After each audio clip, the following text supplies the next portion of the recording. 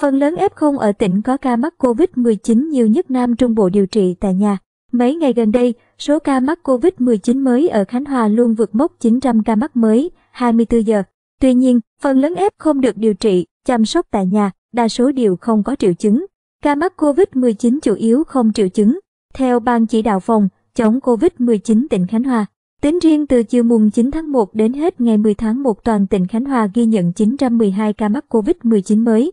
Trong đó có 160 ca ghi nhận trong cộng đồng, 676 ca cách ly tại nhà, 73 ca ghi nhận trong khu cách ly y tế tại dân cư, 3 ca ghi nhận trong khu cách ly tập trung.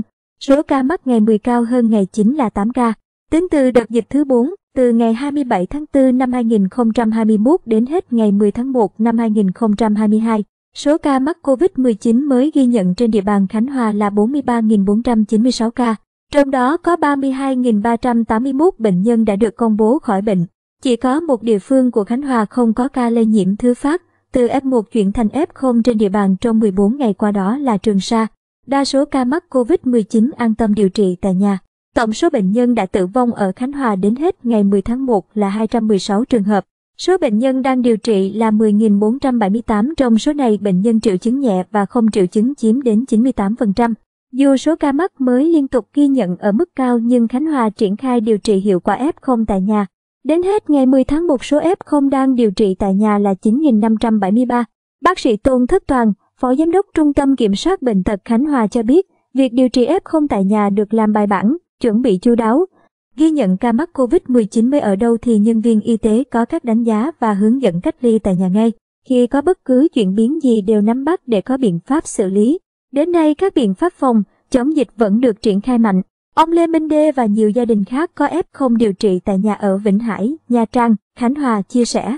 Dịch đã diễn ra nhiều tháng nên người dân cũng nắm được cơ bản các biện pháp cách ly, chăm bản thân khi điều trị tại nhà. Đồng thời các kênh liên lạc với ngành y tế được phổ biến rộng rãi, dán cả ngay trước cửa các gia đình có F0 nên an tâm. 211.713 người đã tiêm mũi 3 vaccine COVID-19. Để tăng cường tạo miễn dịch, Khánh Hòa tiêm vaccine COVID-19 mũi 3 một cách nhanh chóng, an toàn, nhất là các đối tượng trên 50 tuổi, người có nguy cơ mắc COVID-19 cao được vận động, kêu gọi đi tiêm, nhanh chóng tiêm vaccine COVID-19 mũi 3 ở Khánh Hòa.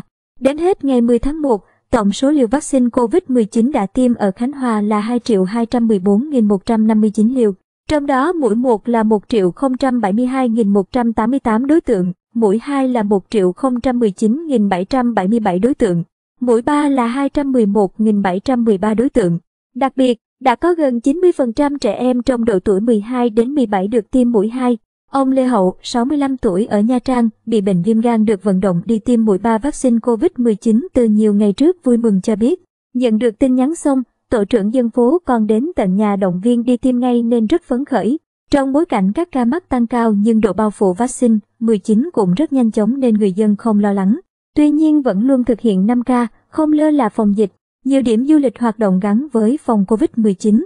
Bên cạnh việc điều trị F0 tại nhà, Thần tốc tiêm vaccine COVID-19 an toàn thì Trung tâm Cứu trợ COVID-19 Khánh Hòa đã tổ chức nhiều đợt động viên và tặng quà hỗ trợ các lực lượng tuyến đầu, chốt kiểm soát dịch bệnh COVID-19, tặng quà các tổ tự quản an toàn trong phòng, chống dịch, các hộ nghèo, cận nghèo, hộ khó khăn, các hộ trọ, gia đình chính sách, già làng, nạn nhân chất độc da cam, người khuyết tật, lao động tự do, cơ sở bảo trợ xã hội, các mái ấm tôn giáo, các bếp ăn khu cách ly tập trung trên địa bàn.